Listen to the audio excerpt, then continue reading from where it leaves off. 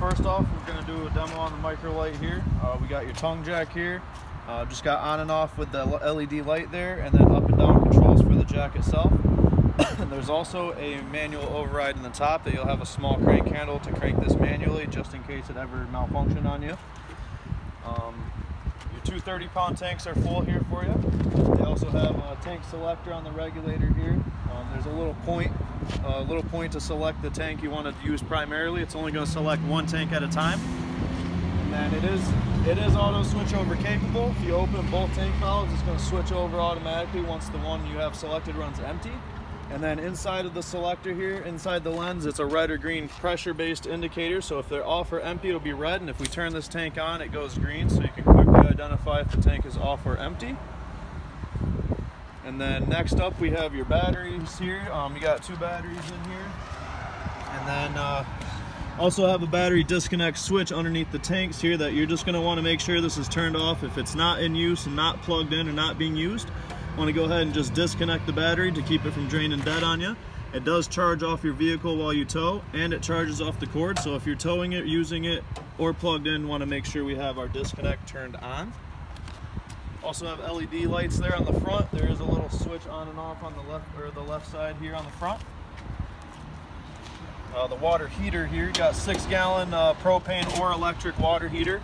Propane uh, is auto ignition, just control on your control panel inside um, as well as the electric element. Um, there's a second switch here for the electric. There's an on and off switch here, and there's also one on the control panel. These both must be turned on um, for it to work on electric. You are able to run both electric and propane at the same time for the fastest recovery.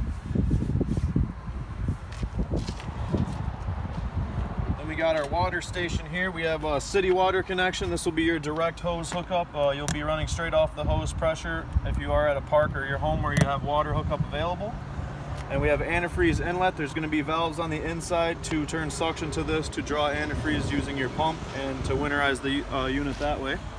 As well as a black tank flush. Um, that goes to your black holding tank there. You want to, that's something you want to utilize after you've dumped your tanks out and you have uh, the black tank handle open and empty and your hose still hooked up. You're gonna hook up the hose to this guy. That's gonna spin and rinse inside the tank, help it from falsely reading on you over time. And then we also have cable satellite connections here, a couple coaxials underneath the covers. If you have a full hookup with TV service available, those are pretty nice to have. And a little convenience light if you're out here monkeying around at night uh, help you see a little bit. Um, access to the water pump and filter are located through this panel on the exterior, as well as your water heater bypass valves and your uh, winterizing selector valve. Up top we have a fresh tank fill, so this will fill the trailer's onboard tank uh, for fresh water if you did not have water service where you may be going. And then there's also a low point directly below this, a big white handle down here to drain that tank out if you want to drain the water weight before you leave, you're just going to pull that handle, let that drain out of there. And then moving on back here, we have your uh, holding tank drains here. Um, so we have uh, colors, there are color coordinated handles. You have one black handle on the left that's straight from your toilet, your sewage. And then on the right, uh, a little bit down here, we have a gray tank. Uh, that's gonna be wastewater from sinks and showers. You always wanna drain your black first and then follow it up with your gray. That'll kind of help rinse all that stuff out of your hose. as well as a little outside shower here. I don't have my keys on me right now. Just a basic shower head in there with hot and cold valves on it. Furnace vent. Just want to make sure nothing flammable or meltable in front of the furnace vent while it is running. It does uh, blow out pretty warm exhaust. We have a little hood range vent flap above the stove. There's a little couple tabs to hold that closed. So you want to make sure that's secured before you travel. And then the fridge vents on the back here, that will uh, just vent heat out of the back of the fridge. Not too much to do inside there. Um, a manual override through the hole here on the frame that's going to go to the slide on the other side that runs that slide in manually from this side. You'll have a crank handle located in the compartment for that as well. You also have stabilizer jacks on all four corners, so those are just used to stabilize the unit after you've get it, gotten it leveled out so it's not rocking around when you're walking inside there. You do have a crank handle for those. That does take a three quarter inch socket if you have a drill. A lot of people like to use their drills, make it nice and easy for them. a little 30 amp plug here. And uh, this is 50 amp, sorry. My mistake on that. So that'll be your cord hook up there. That's where your power cord is gonna hook into. Also have a hollow bumper here. You can store your sewer hose right into the uh, bumper there so it's kind of out of sight and out of mind. As well as a full-size spare tire with a hard cover so it doesn't get beat up as much by the sun. And then up top you are pre-wired for a backup camera. That takes the Furrion camera. If you ever want to add one later on, that model is always on display in your vehicle while you are driving. You do have a fully walkable roof with the rear ladder here. Um, so you want you can hop up there, check out your ceiling about every six months or so. Uh, moving on around, um, we do have another manual override here. This will go to the slide on the opposite side here to run that one in manually. Got a couple outside speakers that'll be linked to your radio inside. That'll be connectable to Bluetooth and all of that fun stuff. A little outside kitchen area here. Um, so you just got a little motion sensor light. It's got a two-way switch on it. One way is going to turn it on all the time, and the other way just turns it to a motion sense, so it just kicks on when you walk by. Um, you got the little swing out grill here. You're just going to hook your uh, hook your hose up in the side of the slide here. There's a there's a connection right behind this corner of the slide. When it's out, you can plug your uh, quick disconnect hose right into there to um, power up your stove here with the propane. This is going to be a manual light with a lighter match. Uh, you're just going to turn your burner on and light it up there. You also have a 110 mini fridge here outside to store your beverages and all of that good stuff in.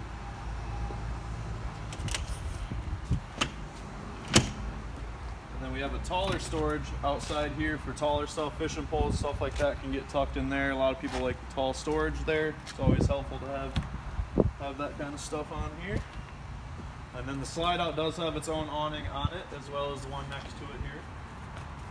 Do have the solid steps, they fold straight up into the door when you're not using it, and then uh, they come right on down nice and easy. They are assisted by a gas strut here, so that makes it almost weightless. Um, we got a couple pins on the bottom here. You can extend or retract the legs to lengthen or shorten them depending on what kind of height you require. Do have a 50 amp to 30 amp adapter here that's included, uh, so you got a little bit more options there if you did not have a 50 amp hookup where you might be going. And we have a couple tracks here. One's gonna accommodate your aluminum countertop for some prep space, and the other one's gonna have your griddle on it that slides right on the side. And you do have another quick disconnect down below here. It's kind of tucked up behind there. Um, same, same thing as the rear. You're going to just run your hose there to power up the griddle. And then there is an exterior TV mount. Uh, the TV inside will lift right up out of the mount and you can put it outside here. Then we have a antenna or cable output here for that and then some regular outlets as well. And then in the compartment here, um, we got your hitch here in the box. Um, little pouch for with some accessories in the rear there uh, your aluminum countertops in the back as well 50 amp power cord and then your griddle will be in this box. There's a little starter kit there. You do have another motion sensor light up in the top there as well. We'll go ahead and move on to the inside here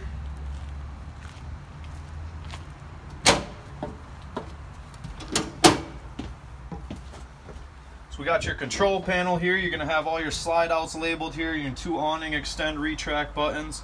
Um, you have your electric and gas water heater element switches on the top side there, as well as the water pump. You're only gonna need your pump if you filled up that fresh tank and you're not hooked up with the hose.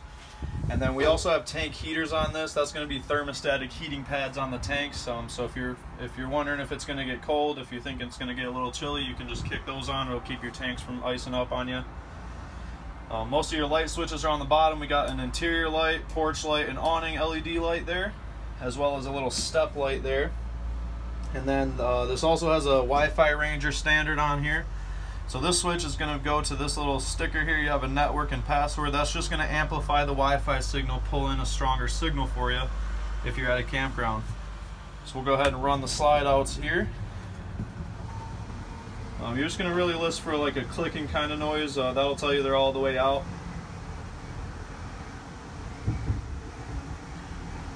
We also have your tank levels here. Um, fresh tank black and gray as well as your battery. You're just going to push and hold to indicate and it's going to indicate empty to full on the left side there.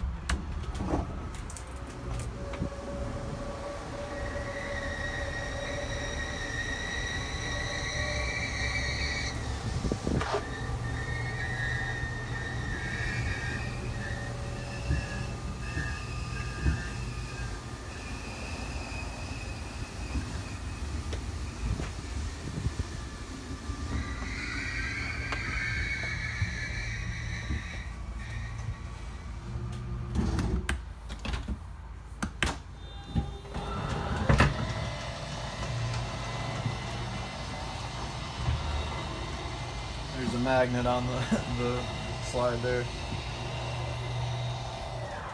All right, we got our slides out now. Um, down below the wall here, we have a propane gas leak and carbon monoxide detector. That unit's gonna be hardwired in there. And then just to the left here, we have your converter. This is gonna handle your uh, battery charging and onboard electrical stuff here. If you just push it in the center on the top, it'll pop open for you. you got all your 110 breakers labeled on the bottom there. The 12 volt fuses are on the right here, uh, label what they go to and what amperage they require in case you had to replace a fuse. There's also red LEDs next to each fuse. If you ever blow a fuse, it lights up red to the right of that fuse, so it makes it nice and easy to see if you have anything going on in there. As well as a little window on the front cover here, you'll be able to see the red lights through the window, so you can just give it a rough glance every now and then. Make sure you don't have any red lights on in there.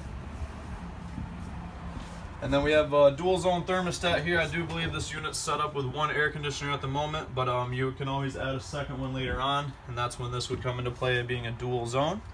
Um, so you're gonna go to mode here. It's gonna take you through the functions here, system. Uh, you got cool, heat, gas, or back to off. So you can go to uh, you can go to cool, and then kind of just click your mode. That'll change the speeds there, high, low, or auto, fan high, fan low, or back to off, and then you can select the temperature that you like to uh, set it at. And then moving on into the kitchen here, we do have a um, pull-out countertop here that pulls out. Nice, uh, nice long countertop extension there. Two sets of keys here. And then uh, just a standard microwave up top there.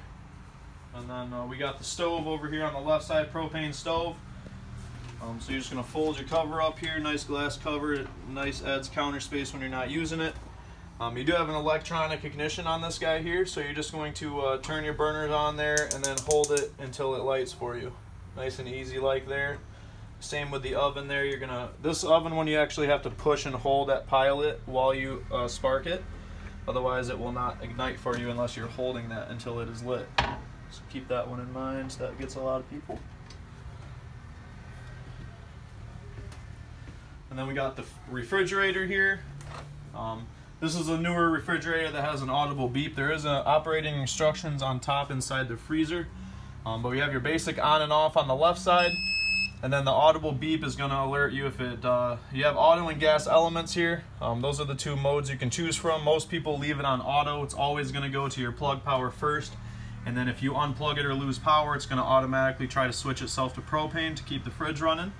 And then in the event that your propane was maybe off or, or empty, uh, the check light's going to illuminate if it cannot light on propane but tries. So that'll uh, tell you as well as an audible beep. It will beep if it fails to light on propane so you will be alerted that your fridge will not be cooling anymore.